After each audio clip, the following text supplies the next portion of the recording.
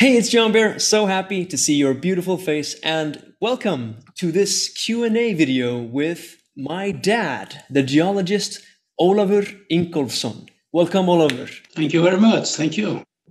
And today our intention is to do a bit of a Q&A video because we've gotten a lot of questions in the comments. I thought it would be a nice idea to answer these questions on camera and so more of you can see the answers and you know hopefully we can have a good time while we're at it. So how are you doing? You're in the cabin right now. Yes, I'm in the cabin in the at the fringe of the highlands in western Iceland. Wonderful. It's uh, raining and windy, and uh, a good time to spend in the cabin. Perfect. Yeah, rainy and windy sounds very Iceland. uh, for me right. right. now, I'm in Dubai. Um, it's sunny, always sunny, and almost too sunny. It's so hot outside that I barely go outside. Speaking of hot things, let's jump into these questions about this uh, volcano. Everybody has burning questions that need answering. Well, I'll try and answer the best I can, just to emphasize that I'm kind of riding on the back of my colleagues um, at the University of Iceland. There's a very good team of geologists, geochemists, volcanologists, remote sensing specialists, and they have been monitoring the uh, eruption hour by hour, basically, for the past four months. And they uh, have freely shared their data with me and everybody else. So I hope I will give correct answers to the questions. If I get something wrong, that's me, not my colleagues, just to make this clear from the beginning. The Earth Science Institute has a very good web page where they post all the latest information mm. we might be able to give that uh, link uh, by the end of the video. Uh, it's nice that you give credit where credit is due. Obviously, we are relying on all the hard work from all the professionals that are hanging out recording all this data for us. Uh, you yourself, uh, you're a, you teach geology, uh, but your main specialty is glacial geology, correct? Yeah, absolutely. It's glacial geology, quaternary geology. It's basically environmental changes over the past um, um, two, three million years. And mm. volcanism is certainly a part of that mm-hmm. and the volcanic history. So I follow this eruption, of course, with a keen interest.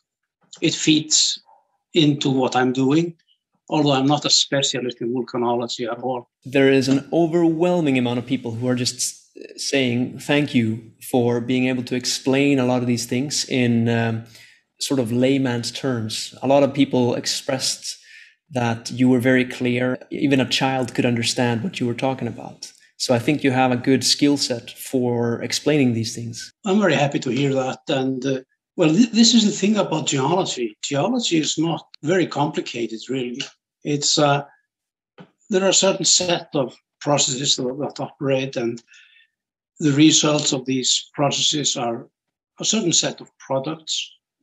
And basically, what geology does is that it it monitors, it uh, records, and it makes interpretations. And the present is the key to the past, and the past is the key to the future. It's a little bit what we do as geologists. We try to understand environmental changes that are ongoing, use our understanding of those to interpret the geological record, and in some cases make some predictions. And from this sense, it's very important that we monitor this uh, volcanic eruption very closely. It's a every volcanic eruption is unique, and this is a unique uh, uh, eruption. We haven't observed volcanic eruptions in this area, uh, well, over the past 800 plus years. And of course, this is everything that's happening there is, in a sense, new to us geologists. But we, we try to learn from it and uh, use that understanding to get a better idea about how this volcanic system do um, behave and how they might behave in the future. That's also very important. Mm-hmm. The, the history of the earth and the history in the making. Geological history in the making, that's right. that's right. Um, I'm just going to jump right into the first question here. Phil Box says, Yes, please, more dad, the geologist. Would be awesome if he could explain the separation of the gases from the molten rock within the earth to form those massive jets exiting the volcano, the role the cool lava plays form a more or less insulating layer over the hot rocks and the lava within the field after it flowed across the landscape. Totally fascinating talk from Dad, the geologist. More, more. The the magma that's uh, being fed to the surface in Geldingadalur is coming from very deep. It's uh, now my colleagues say it's at least 17, 17 kilometers, and it's not coming from a magma chamber. It's coming more or less from pockets or or, or, or places of molten rock at this depth, uh, basically at the contact between the Earth's crust and the, the, the mantle that's below the crust. Down there, it's there's enormous pressure, and as the magma starts to travel towards the surface, volcanic gases that are basically a part of the magma, they are, they are kind of in the solution, if you like. Uh, once the magma comes nearer to the surface, the pressure, surrounding pressure falls, and these gases, they start to uh, free themselves from the magma and they form bubbles, gas bubbles. It's the same process as you can see basically in a, if you take a bottle of soda with carbon dioxide, you shake mm. the bottle of soda and you build up pressure, then you open up the soda bottle and it sprouts all over the room. It's pretty much the same process, really. Once the the magma is very close to the surface, we think that below the crater, or in the connection with the crater, there is a chamber or a kettle or cauldron, if you like, where the gases can free themselves from the magma. And these gas bubbles, that huge gas bubble, they rise up and up into the crater where there's a pool of, of lava. Mm. And once they reach that pool of lava, they kind of make it sprout, making these lava fountains.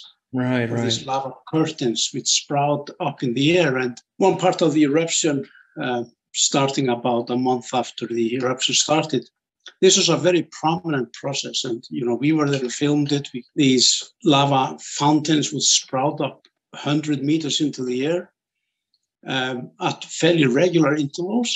But this has been changing in the course of eruption. It has to do with a number of things. It has to do with the pressure, it has to do with the temperature, it has to do with the architecture or or configuration of the feeding pipe and this cauldron below the crater, this effusive activity, as we call it, with gases released, releasing big bubbles and throwing up lava in the air, they have been varying a lot. And mm. they are not very prominent right now. They or haven't been for the last month or so. Right. So the intervals for spewing is is it's more dormant. Yeah, yeah. Yeah. So, so most of the degassing of the lava actually happens during this process. Mm. Most of the degassing has happened already before the, the, the lava starts to stream out of the crater. Mm. But of course, there is an element of degassing occurring as long as the lava is molten, but it's it's a it's relatively minor degassing from the flowing lava. There was a second um, part to this question about what happens when the when the lava flow crusts over. Yeah. The lava is maybe 1100 degrees Celsius when it leaves the crater, but once it gets in contact with the uh, atmosphere, with rain and wind and whatever, the surface of the lava cools fairly quickly, and it, it crusts. It, it, it makes a crust, and this crust may be anything from a few centimeters to a few decimeters thick, but the lava continues to flow below this crust. But this crust is incredibly efficient in isolating the, the, the molten lava so that the lava can flow one kilometer or two kilometers and it only cool by a few degrees below this crust. So this crust is very efficient in insulating. So the lava, we see that the lava has been flowing quite long distances below this crust. So we don't really see the lava flowing anywhere, but still um, the lava front is advancing. And also, what happens is that the whole lava pile, if you like, kind of inflates because below the crust, lava is still being pumped into the molten body that is below the surface. Mm. So the lava, the surface of the lava flows kind of increasing by maybe a meter per day in some instances. And that's because the volume of the lava below this solid crust is increasing. Mm. So the whole sort of carpet over. It's just raising as the volume inside increases. Yes, exactly. Yeah. Great. We'll jump into the next question. Um, Chris Navin asks When you have the full moon coming up at the end of the month, will it affect the volcano like it affects the tides in the ocean? With the change of gravity, will it make the volcano more fierce? Interesting question. That's, uh, that's a very good question. Uh, the thing is that the moon, the gravity between the Earth and the moon, doesn't only affect the the oceans, it also affects land. Mm. So there is a kind of a tidal wave going through the land, affecting it. But I don't think that we see any measurable changes in the rhythm of the eruption as a result of this. Mm. The intensity of the eruption varies quite a lot. Mm. And there have been periods with very little activity. There have been periods with very, very high activity. Or very, I don't think we can connect that to the moon at all. All right. But we, we cannot exclude that the moon has some effect, but Mm. it's probably too small for us to measure or to be noticeable. Cool. Yeah, it's an interesting question. Then I'll jump into the next one. Uh, Chris Ackerley. Oh, he starts by saying, Your dad is a tough old bugger. I have a question for him. Assuming it's trapped gas that causes the magma to shoot up like that, what kind of pressure does it take to cause molten rock to shoot up 300 meters?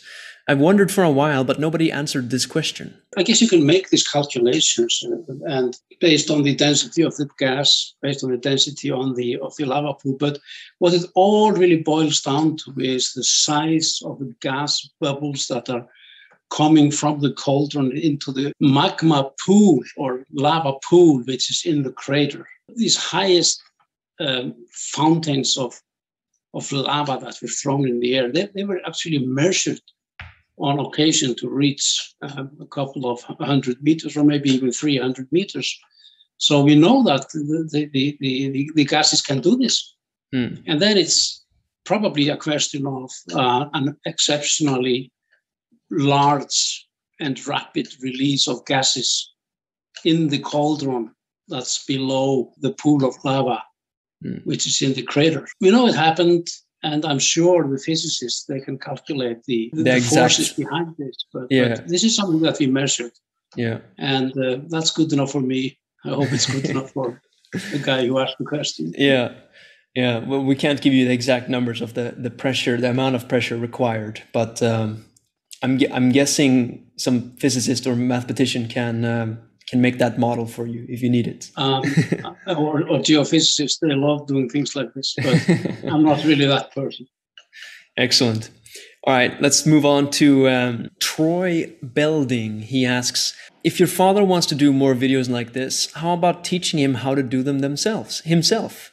That way, he can continue to put uh, together educational records while you are in Dubai. Thanks for the work. what do you think about that suggestion? Nah, I think I, I, I prefer to work with my son. I guess. I, I think I'm, I'm I'm reasonably good at geology, but you know all this thing about filming and editing and stuff like that. I I better leave that to professionals. Let me do the geology.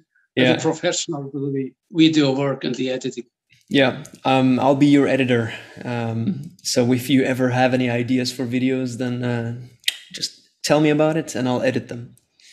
Yeah, good, good. Good stuff. Next up, System asks These guys are amazing. I agree. Uh, it wants to meet the sea. Why can't they dig a tunnel under the roads so it can get to the sea with minimal damage? This is nature at her creative. Continuing with building walls will take away the hills and the natural environment. This is a question on our um, video where the, the wall was still there. He's suggesting building a tunnel for the lava. Would this be possible? No, it would be possible. Yeah. Uh, the problem with lava when it's flowing is that it doesn't really behave like water. It always flows the path of least resistance, like water does, but lava is uh, much more viscous than water. You can predict that the lava is going to go this way, and maybe it starts going that way, and then it basically turns and goes another way. And that has to do with the output from the crater. It's also got to do with uh, the cooling of the lava. You see, if you want to visualize how lava does flow, it would be perhaps easier to visualize it as a wax flowing from a big candle, a candle that produces lots of uh, wax. And you will see that the flow from the candle will not kind of follow a single path. It will change course. And in the end, you will you will have wax flowing in all directions from the candle. And, and this is the same with, with lava. You, you can project a tunnel because you think that the lava is going to go that way. But then a lava flow builds up uh, some kind of obstacle to the flow that's coming from behind, and that will choose a different path. And it's not possible. You cannot really tame a lava flow like you tame a mm. river. The lava flow, once the lava flow flows into a basin or it flows into a channel, it will change the configuration of that basin and that channel, and it will create its own landscape. Mm. Lance Kaz asks a question for geologist Oliver Ingolfsson. Has the chemical composition of the emerging lava changed? The lava spilling out now, 2nd of June, seems runnier than than it has been before. When it cools, is it leaving a smoother surface than before? That's a really good question. Uh, the thing is that the chemical composition of the lava isn't constant. It does change. The geochemists, they, they really see this in, in kind of the weight percentages of the different components of the lava. Why this happens is something we, we, we can discuss it is possible that there are some changes in the composition of the of the magma in the source, basically at 17 plus kilometers depth. Also, what happens is that when the magma is traveling up through the channel, through the pipe towards the crater, it interacts with the uh, Earth's crust.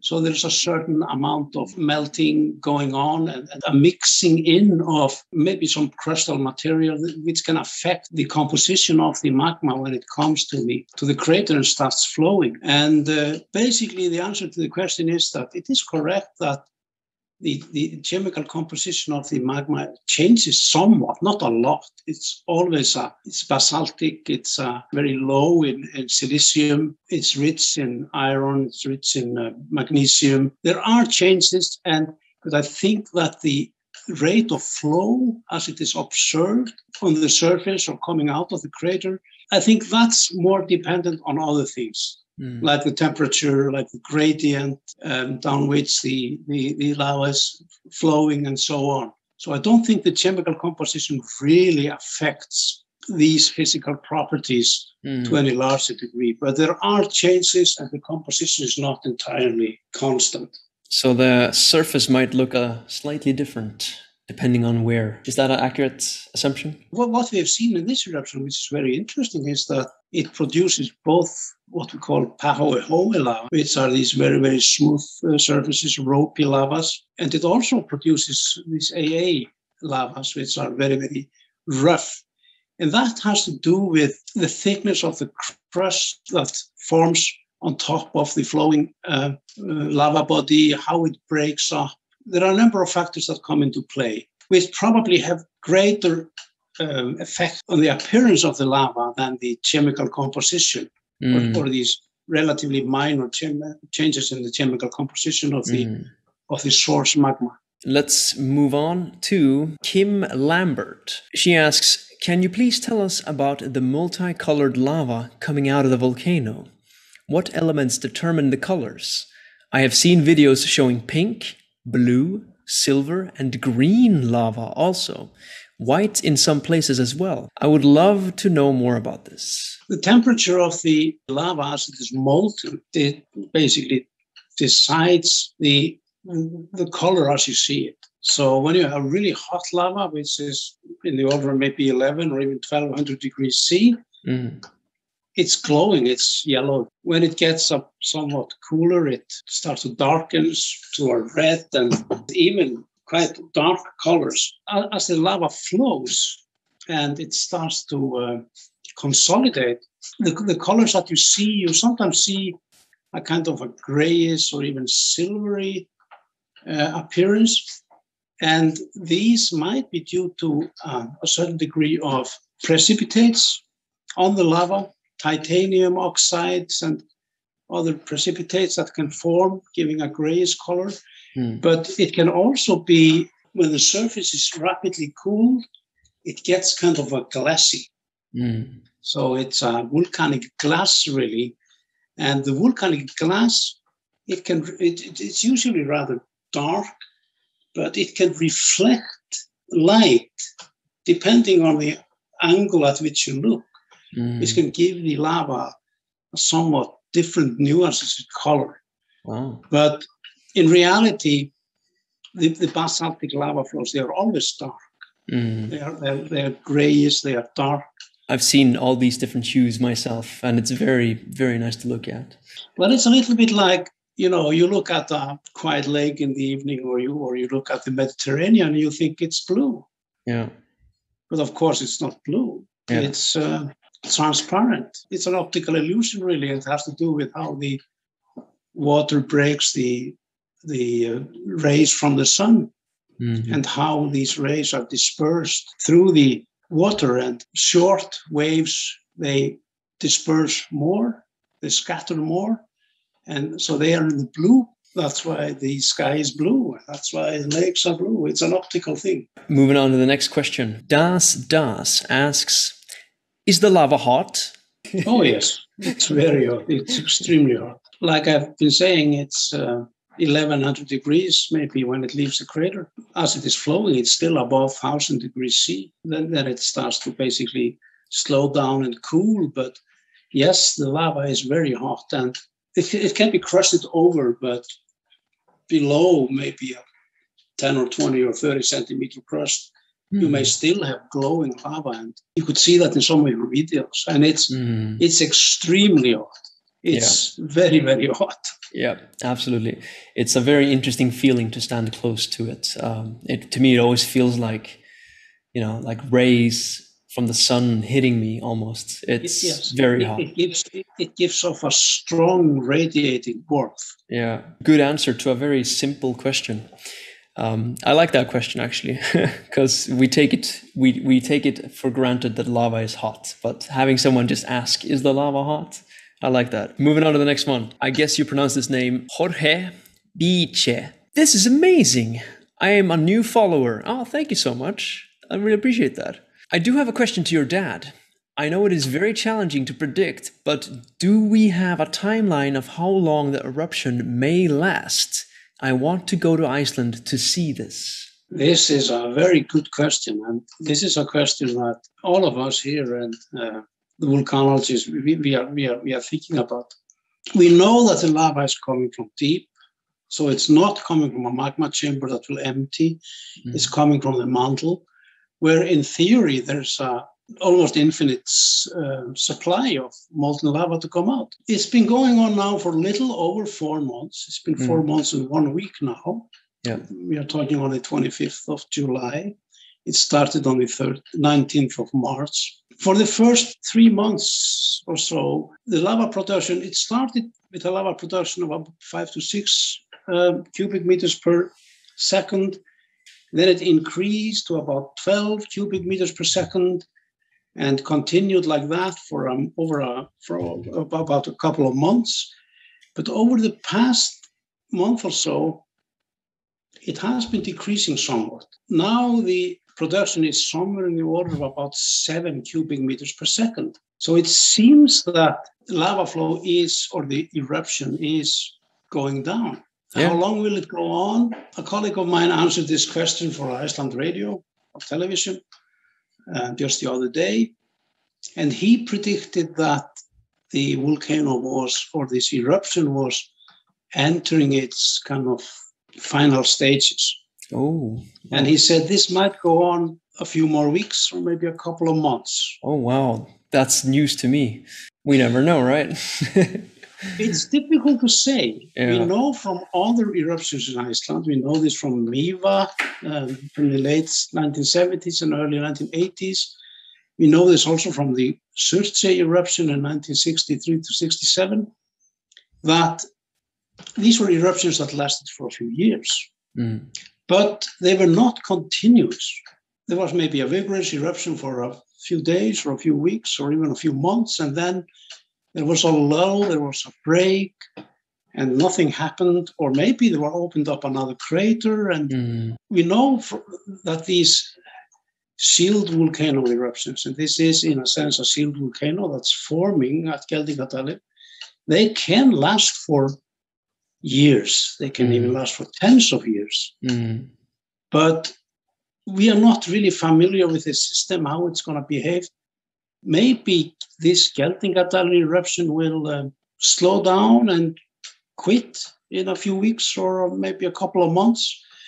And then maybe we might have another eruption in the same system starting a year later. This is very difficult to say. This question is really a million dollar question. I, Yeah, that's I- I wish I had I wish I had an answer to it. It Yeah. would be very nice, but we don't. So, you know, if we base this on the measurements that we are doing, the the there are there are big lulls in the eruption now. Nothing there seems to be very little lava production going on from maybe 10 hours, 12 hours, and then it goes up again and can be quite vigorous, up to 10 cubic meters per second, and then it kind of slows down and ebbs away and takes a break for a few hours or a couple of days, and then it starts again. Mm. So all the signs now are that the eruption from this crater in Geldingadalur, it seems to be waning. So everybody who's hoping to book tickets to go see it before uh, before it stops, you better get on that soon. Now's a good time to go. As the eruption is ongoing, if and you really want to see this eruption, you should hurry. yeah, time clock is ticking. The gas production figures seem amazing. How is quantifying them achieved? Asks uh, Umvu. Yeah, that's a good question. So, you know, we don't really have a gas meter, cannot measure it directly, but uh, we have a fairly good idea about the composition of basaltic magma. What is the volume of gases versus the volume of lava? And so, what we do is that we can measure very accurately the volume of lava that's produced based on what we know about the volume composition of bas- basaltic magma we just calculate the volume of the gases. Mm. What we can measure is the composition of the gases. Mm. So we have gas meters stationed that take samples, and these samples are analyzed from different types of gases that come. And then the amount of the different types of gases is also calculated based on uh, geochemistry. Mm. So we, we don't really measure the gas flow, we calculate it, and it's all uh, tied to the volume of lava that's being produced over time. Marco Taverna. I hope I say that correct. Um, hi, this was a very interesting video. I have a question for Mr. Geologist Ólafur Ingólfsson. As he says, uh, the magma seems to come from the mantle. But even if it doesn't, what I think is we have lava coming from downstairs. so I think that somehow the flow should produce a hollow somewhere inside the earth. Is there an evidence of a sinking flow someplace in the world, or there will be hollows inside somewhere? As English is not my native language, I hope my question was clear enough. Thanks. Greeting from Italy. Okay, Italy. Yeah, I mean that's a, that's a good question. You know, if if we have an eruption which is fed by magma coming from a magma chamber, like we have in a big central volcano, uh, once we empty that chamber, if it's not a very deep, I mean, if this magma chamber is at let's say three, four, five kilometers depth, what can happen is that then we have a void, we have a, and that will fill in because Mm. uh, the volcano will kind of subside into the Mm, magma chamber. Right. And we have this in many places. We have this in Iceland, in, in, in Askja. Mhm. We have this also, this has also been happening in, uh, in uh, Bárðarbunga, Mm. where we had a big eruption in uh, 2014, the Holuhraun eruption. We, we, we see that the, that the mountain is kind of uh, sucking into the magma chamber that has, to a certain degree, be- been emptied. Mm. But with this eruption, there is no magma chamber. Mm. There is the magma is coming from very, very deep.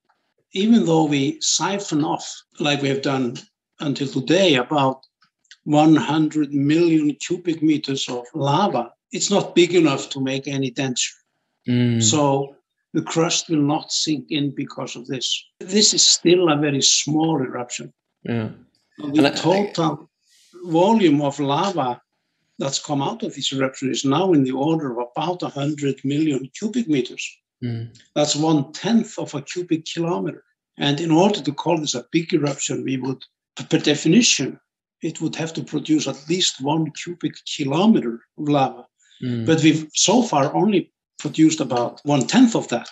Mm. And if this lava flow continues for maybe four years, then we can classify it as a large eruption, but we are not there yet. And even if we had a large eruption, we maybe we could we could detect some sinking in of the crust Mm. with uh, high precision uh, GPS uh, measurements and, and, and, and gravity uh, measurements, but it wouldn't it wouldn't make a, a hollow or anything like that. Mhm. Yeah, you said before that the mantle is practically infinite, and just imagining the size of the planet, uh, yeah, I can't imagine that it makes a significant impact when. It, it, it certainly doesn't. Yeah. No. Mega Skills 9 asks Also, when it rains through the clouds of sulfur dioxide, it makes acid rain, literally sulfuric acid. Uh, that's what it's like on Venus, although 800 degrees Fahrenheit. I guess this this this is not a question. It's just uh, my own curiosity. I wanted to ask you: Is is he correct? Yes, in, yes, in a sense, he is. Uh, the, the, the sulfur dioxide, if it's in high concentration, it will produce acid rain Mm. if it rains through it, or if it when it mixes with water vapor and and it rains. Yes, absolutely. Oh, uh, then I have a question about uh, what if the when the lava reaches the ocean? Then doesn't that mean that we're going to get a lot of? You said mixes with water vapor. Would that result in a lot of sulfur dioxide? No, no, not really, because Okay. most because most of the sulfur dioxide has already left the the lava before it con- because the degassing occurs Right. Okay. in or below the crater. So Mm. most of the carbon, the, the sulfur dioxide will have left the lava. So basically, what will happen if the lava flow reaches the ocean is that uh, the immediate waters close will boil and there will be a lot of water vapor, not so Mm. much gas release at all. Mm. But in a, in, in a very, very large eruptions like the um, Laki eruption in 1783 in Iceland, which was one of the biggest eruptions during historical time anywhere on Earth, which produced maybe in the order of about 15 cubic kilometers of lava. Uh, that's a lot. there, was a, there was a very, very serious uh, volcanic pollution Mm. and this is exactly what happened. There was there was acid rain falling not only in Iceland. There was a volcanic haze across most of northern and northwestern Europe, and the British Isles and Iceland. And this po- posed a very very serious uh, health threat to people living there at the time. Mm. And there were numerous reports of people dying from lung diseases because of Oh. uh, they were basically breathing in these sul- sulfuric vapors, which then destroyed their lungs. So th- this is something which is which is known from very large eruption, but this Yeah. eruption is a small eruption. Right. Yeah. But even the volcanic pollution from this eruption can cause inconvenience for people with asthma, with people Mm. with uh, cold and with uh, lung diseases. So the Met- meteorological office in Iceland, they they make predictions as to the wind direction and the, the risk for um, volcanic pollution over the urban areas around the Mm. volcano. And sometimes there have been recommendations to people to with weak lungs not to go outdoors and you know not let your children sleep outdoors in a, in the carriages and so on Mm. and even though this is a small um, eruption the uh, sulfur dioxide production of this um, eruption is still in the order of about four or five thousand tons per day there's a lot lots of gas release but Yeah. It's not enough to have any really significant effect uh, as yet. I don't know how to say this name. APFPS, FPV, sorry.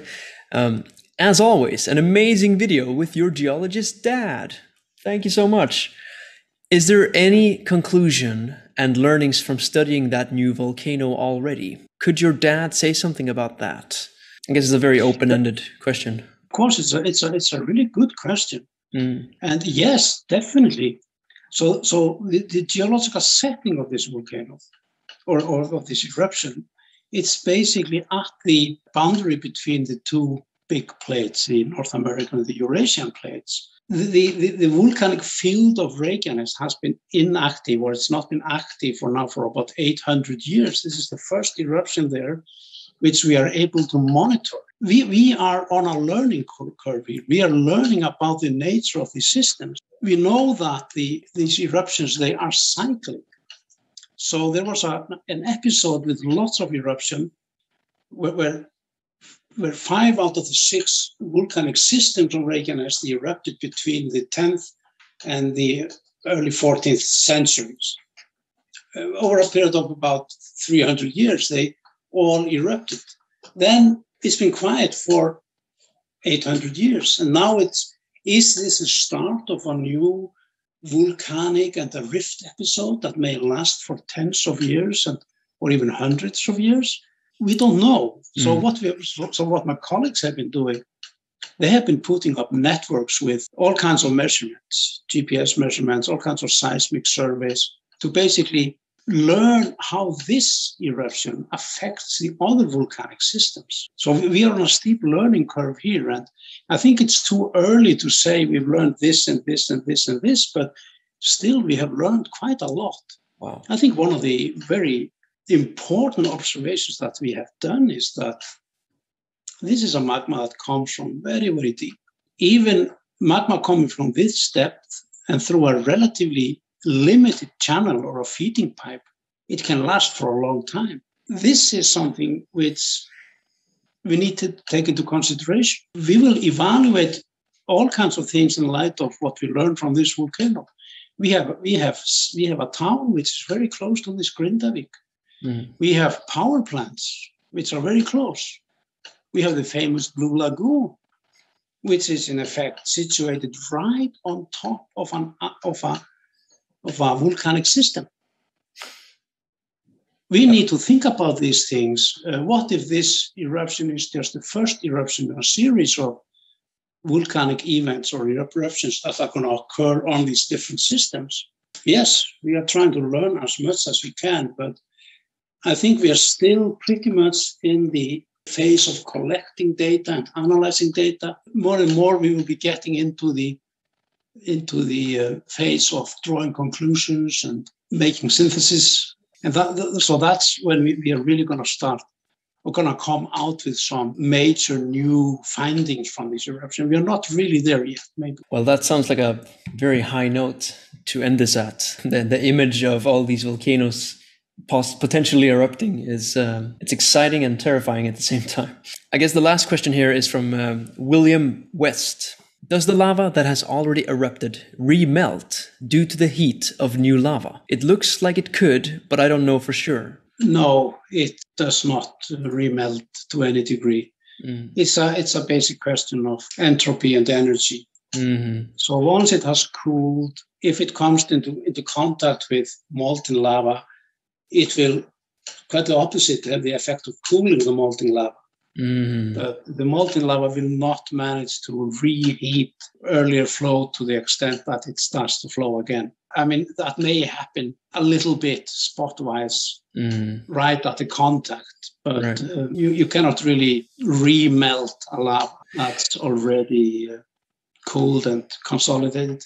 Yeah, uh, it is. It is a good question. I feel because uh, some of the clips that I captured, people comment that it looks like lasagna or like cheese, and cheese, I think you can remelt it a lot. I mean, I guess not infinitely, but you can remelt it a lot. So I guess that concludes I think, that lava. I think you will find. Like I think you will find, my son, that cheese is very different from basaltic lava forms.